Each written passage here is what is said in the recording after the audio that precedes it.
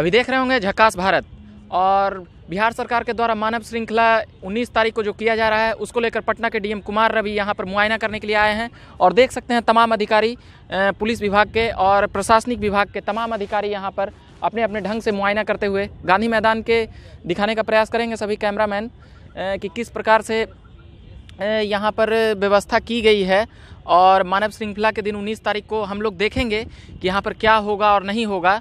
और कुमार रवि ने यहाँ पर डीएम साहब कुमार रवि ने यहाँ पर प्रेस कॉन्फ्रेंस के ज़रिए भी बत, बताने का कुछ प्रयास किया है। वो अभी हम सुनाते हैं। गांधी मैदान में क्या कुछ है? ये पूरे राज्य में मानव श्रृंखला 19 जनवरी 2020 को बनाई जानी है जिसका मुख्य थीम जल जीवन हरियाली है और उसके लिए जिला प्रशासन के द्वारा यहाँ तैयारी की जा रही है। पूर्व में भी 21 जनवरी 2017 और 21 जनवरी 2018 को यहाँ पर मानव श्रृंखला बनाई गई थी। और यह जो मानव श्रृंखला है, यही गांधी मैदान में मुख्य मानव श्रृंखला यहाँ बनाई जाएगी, जहाँ से यहाँ चारों गेट के माध्यम से पटना के विभिन्न क्षेत्रों में होते हुए राज्य के दूसरे छोर तक पहुँचेगी। यहाँ जो चार बड़े गेट हैं, गेट नंबर वन है, फाइव है, सेवन है और टेन है। यहाँ से निकलेगी लाइन निकलेगी, यह मानव श्रृंखला निकलेगी। और विभिन्न क्षेत्रों से, प्रमुख सड़कों से होते हुए और सब रूट से होते हुए विभिन्न जिलों के सीमाओं तक जाएगी। वहाँ से दूसरे ज़िले फिर अपनी मानव श्रृंखला वहाँ से बनाएँगे। जो यहाँ पर गांधी मैदान में मानव श्रृंखला बनेगी, वह उसमें बिहार का एक नक्शा बनाया जा रहा है, जिसको आकर्षक तरीके से उसको बनाया जा रहा है। और साथ में यहाँ पर जो मानव श्रृंखला में लोग रहेंगे उनकी भी उनको भी पूरी जानकारी दी दी गई है।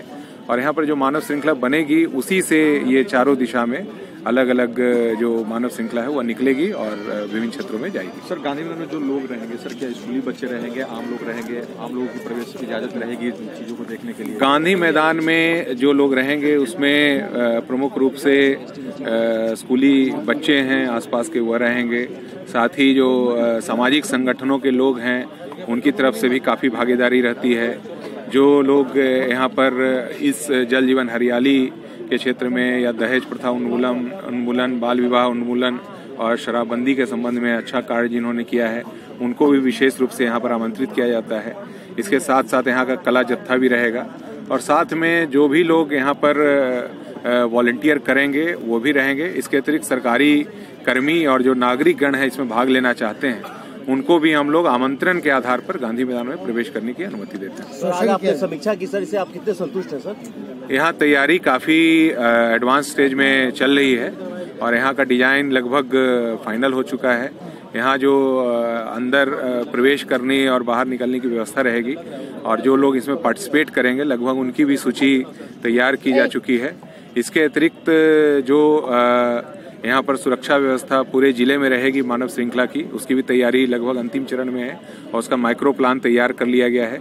पूरे ज़िले में लगभग 708 किलोमीटर में मानव श्रृंखला बनाई जाएगी, जिसमें मुख्य रूट में मोकामा से लेकर के कोयलवर तक मेन रूट बनाया जाएगा, जो कि पटना में गांधी मैदान होते हुए जाएगा। इसके अतिरिक्त कई सारे सब रूट्स भी बनाए जाएँगे। इन, इसमें कुल मिलाकर के लगभग सत्रह से अठारह लाख लोग इसमें शामिल होने की अभी हम लोगों ने आकलन किया है। और इसके आधार पर तैयारी की जा रही है और इसका लोगों तक जागरूकता फैलाई जा रही है। अभी जैसा कि डीएम कुमार रवि ने बताया है कि क्या यहाँ पर मानव श्रृंखला में 19 तारीख को होने वाला है और क्या नहीं होने वाला है संक्षिप्त में। और भी खबरें देखने के लिए झकास भारत को देखते रहिए। अभी के लिए फ़िलहाल इतना ही। चैनल को सब्सक्राइब करिए। धन्यवाद।